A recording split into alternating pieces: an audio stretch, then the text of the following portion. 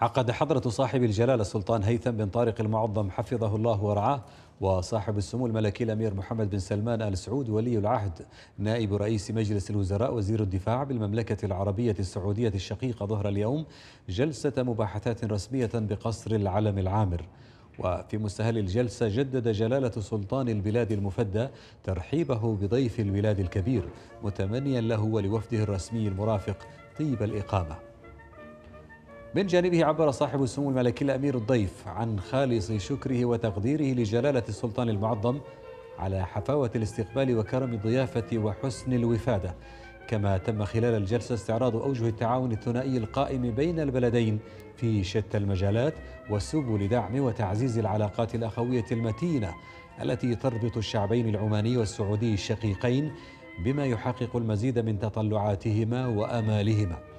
إضافة إلى تبادل وجهات النظر تجاه الأمور والموضوعات ذات الاهتمام المشترك. حضر جلسة المباحثات من الجانب العماني صاحب السمو السيد فهد بن محمود آل سعيد نائب رئيس الوزراء لشؤون مجلس الوزراء وصاحب السمو السيد سعد بن طارق آل سعيد نائب رئيس الوزراء لشؤون العلاقات والتعاون الدولي والممثل الخاص لجلالة السلطان وصاحب السمو السيد شهاب بن طارق آل سعيد نائب رئيس الوزراء لشؤون الدفاع وصاحب السمو السيد ديزن بن هيثم آل سعيد وزير الثقافة والرياضة والشباب ومعالي السيد خالد بن هلال البوسعيدي وزير ديوان البلاط السلطاني ومعالي الفريق أول سلطان بن محمد النعماني وزير المكتب السلطاني ومعالي السيد حمود بن فيصل البوسعيدي وزير الداخلية رئيس بعثة الشرف. ومعالي السيد بدر بن حمد البوسعيدي وزير الخارجية ومعالي الدكتور محمد بن حمد الرمحي وزير الطاقة والمعادن ومعالي قيس بن محمد اليوسف